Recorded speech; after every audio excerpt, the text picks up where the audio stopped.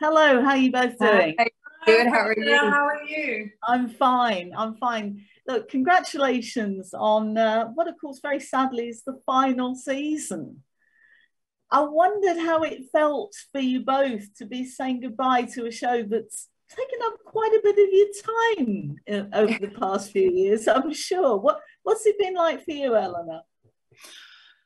Oh, wow. I don't know. I mean, you have to bear in mind this season that we're shooting and still shooting is an extended season. So it's going to be 24 episodes, you know, it's supposed to be usual 16. So it already feels like we're still in it. Like we're still, it is the beginning of the end for sure, but it's, we're still in the middle of it.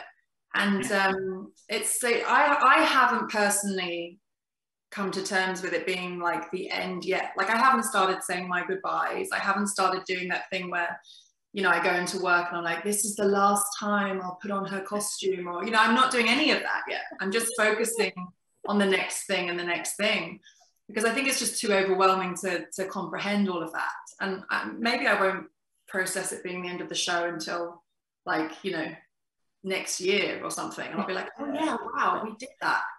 Does that make sense? I feel like yeah, just totally. Paola, you look as though you don't want it to end.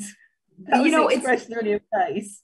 It's it's bittersweet, and I agree with everything Eleanor said. It's definitely bittersweet, and yeah, I don't think I'm ready yet. I think, like Eleanor said, we're just taking it. We're trying to stay in the present for now, and then deal with the saying goodbyes later on. Eleanor, there does seem to be a little bit of a tradition of, of British actors in The Walking Dead, Andrew Lincoln, David Morrissey, Lenny James. I wondered how it feels for you to sort of continue that tradition right into the last season. Oh, I love that question so much because I I I take it like it's such an honor actually because all of those actors you described I just think are so brilliant and they're people that um who I've looked up to, you know, and the choices that they've made in their careers and the performances that I've seen them do.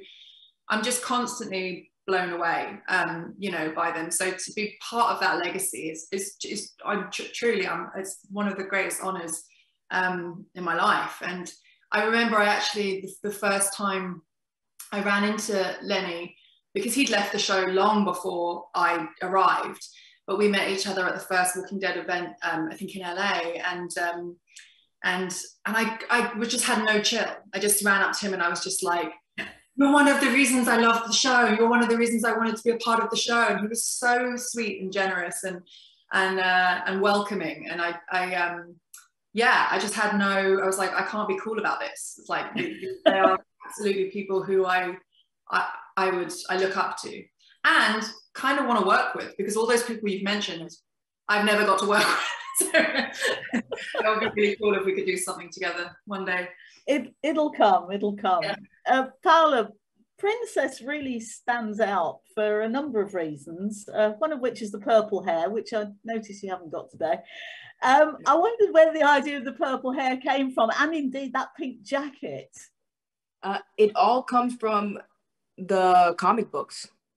So they tried to stay as loyal to the comic books as possible with this character, and they really made it happen. Because if you look at the comic books, how she looks in it, they really did a great job at staying really loyal to that and portraying that character the way she is in the comic books. And I gather her backstory is that she worked in a record store. So I wondered if your taste in music was the same as hers. I think I think it would be similar. I think her taste is a little wilder. my my taste I don't know because I, I like all types of music, so so it's hard to it's hard to pick. Uh, but I think hers is a little bit wilder. Now I know you don't want to think about the sort of you know, the last episode and the last day on set, but what what do you think that last day on set's going to be like when it comes? Crying, tears. I have no idea. I don't. I like. I don't know about you, Paola, but I, I still feel like I take nothing for granted on this show.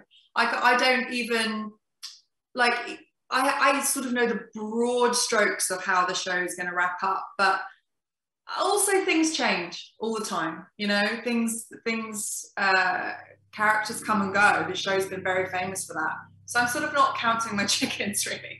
I don't know when my last day is going to be and i just sort of feel like we've got to we've just got to live in the moment for the rest of the season it's otherwise it's um we're just playing the end of it and i don't think that's helpful right now we need to still that's right i agree well, look, it's been lovely to meet you. Really appreciate your time, and uh, thanks for such a great show. It's just a shame that it's sort of um, not going to be around for much longer. Yeah, all Thank good for you. Thanks. Nice Thanks a lot. Cheers now. Bye. Ladies and gentlemen, you're watching Hey You Guys. Hey You Guys, huh? Hey You Guys. Is that from the Goonies? It is indeed, Nice. Hey